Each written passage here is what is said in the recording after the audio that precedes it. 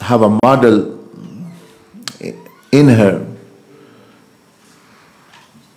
Every mother cannot be a model, although they have certain rights. Maybe that's why Allah subhanahu wa ta'ala mentioned that the Ummahat al Mumineen, that the, the wives of the Prophet wasalam, are the believers, mothers of the believers, so that they can look up to their mother, that my mother was like this, my mother was like this, and I am a man. I should be more, actually, you may say, sacrificing or more actually having integrity and thing because the children always take lessons from their mother as they say mothers are actually the first madrasa for them so سیدہ خدیجت القبرہ رضی اللہ تعالی عنہ ام المومنین she is a she was a unique person in the sense that she is the first ever Muslim of this امہ even before سیدنا نہ اوبکر صدیق even before سعید نہ علی کرم اللہجالکریم many she was the first person to believe in رسول اللہ صلی اللہ علیہ وسلم she was the first person to become a Muslim actually, not only amongst women but amongst men as well. Because the first, when Rasulullah came from the cave of Hira, the first person he spoke to was Umm al-Mu'mineen Sayyida Khadijat al-Kubra.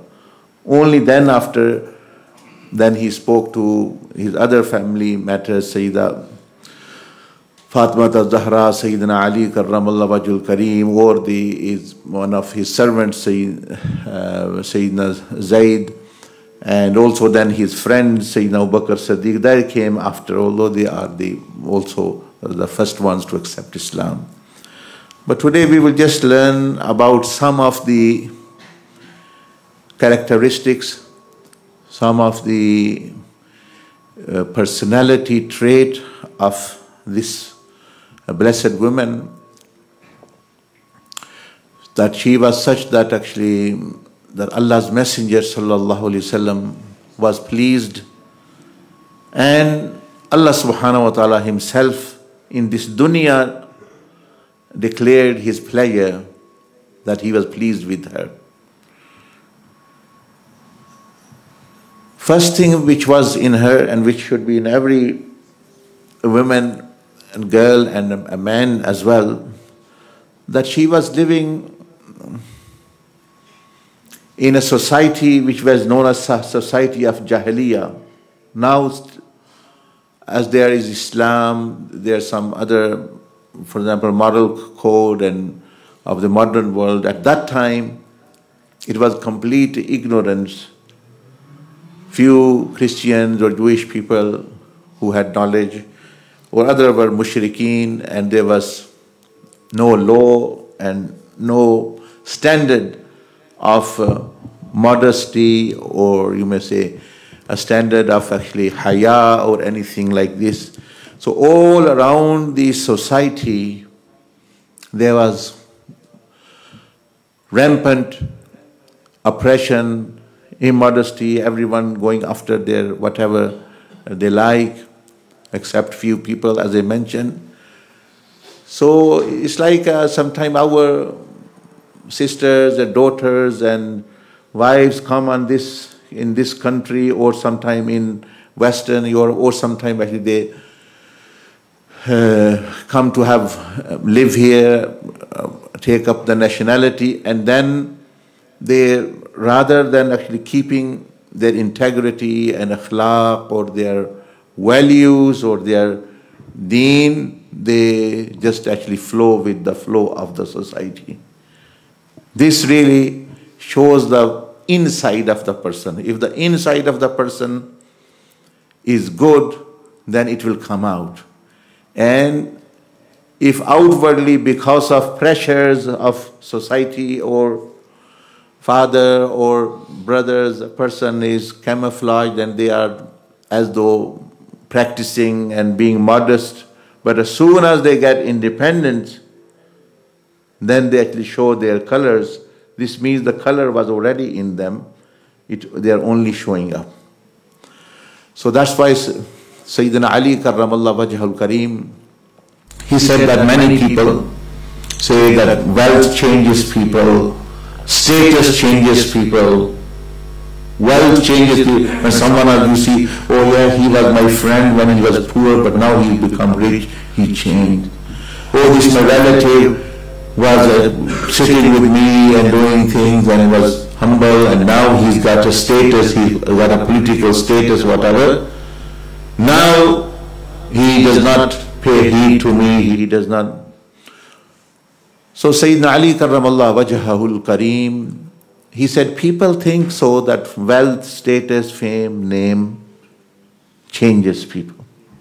But he said, not in all cases, he said that my, because he is the person who is the door of knowledge. He's one of his titles, like every Sahabi have many titles. Sayyidina Abu Bakr have a Siddiq title, Siddiq, for example.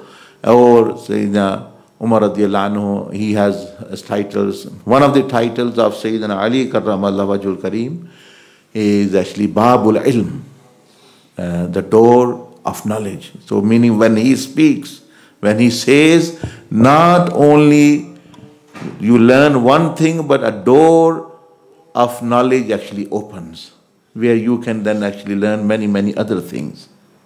That is the meaning of, one of the meaning of door of knowledge, that when you open door, not only, for example, the door open to the mosque, then actually you can see the pulpit, you can see the masjid, you can see people, you can see many things.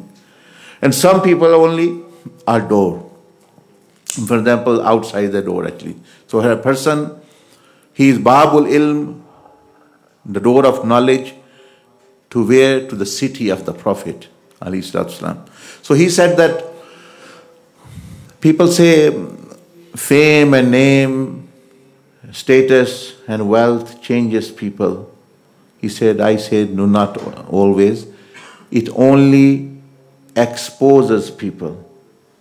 They were already of that nature. But because they did not have wealth, they had nothing to show off. So now they're showing off, they already had this trait in them.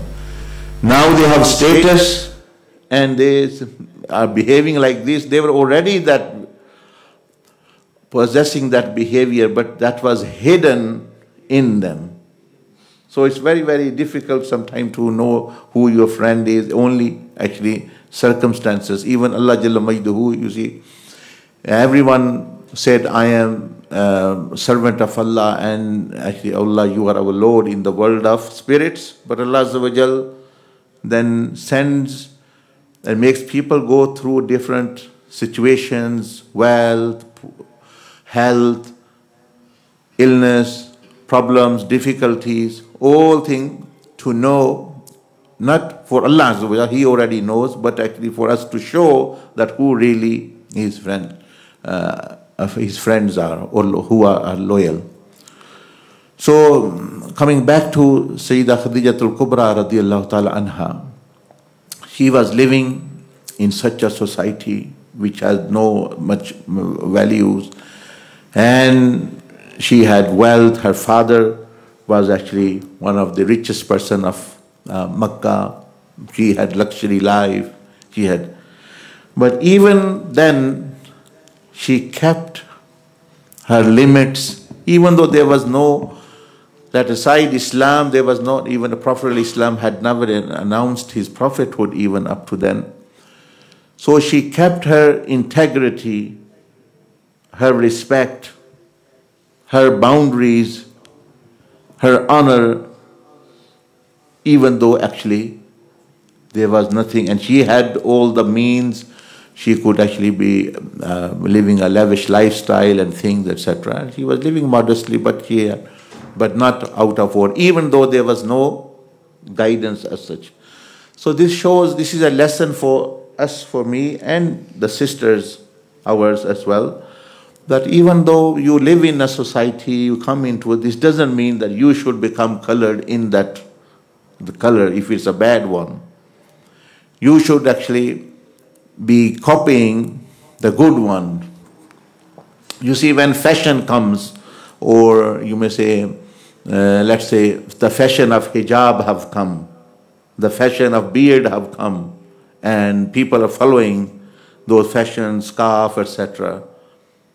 That's not actually, you may say, grounded in, in a sound belief. It is just a, a following. So they are not as tomorrow it will change, their beards or their hijab will come off as well, and shirts and pants and skirts and hijabat and jilbabs will go up and down according to. So that's not actually integrity.